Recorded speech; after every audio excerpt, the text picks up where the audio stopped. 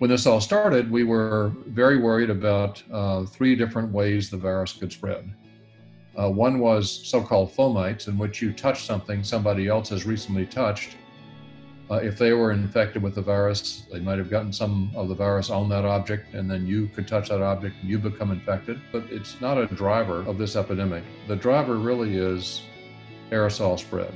And aerosols include big uh, droplets of fluid uh, and uh, microscopic droplets of fluid, and both are uh, both contribute to transmission. There is not a dichotomy of, oh, it's either droplets or aerosols, it's both.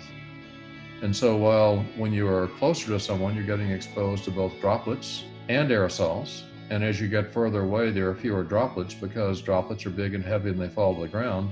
There's virus in both. We should be wearing masks uh, for two reasons. Uh, one is that if we are infected, and for the first couple of days uh, before we develop symptoms, we don't know we're infected.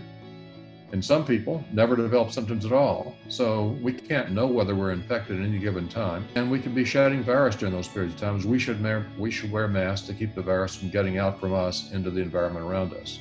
And that decreases the rate of picking up the virus, becoming infected.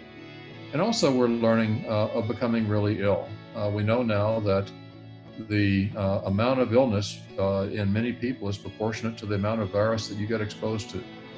And so you're protecting yourself from infection and from severe illness by wearing a mask.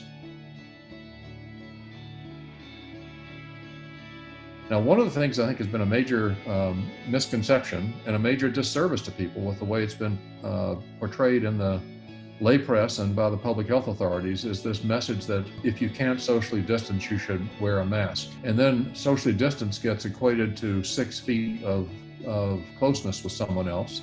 Then people say, well, if I'm not within six feet in a room, I don't need to wear a mask. If you're in a room with someone, you should be wearing a mask because the aerosols will spread beyond six feet.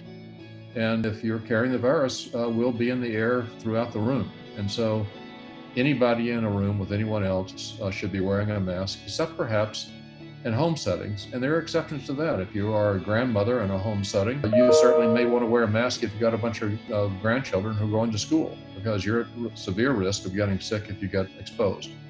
And outdoors, if you're in crowds, um, you should also wear a mask there. I think the message is we should stop talking about this if you can't socially distance, wear a mask, and just say you should wear a mask. And that's the best way to protect uh, others and ourselves.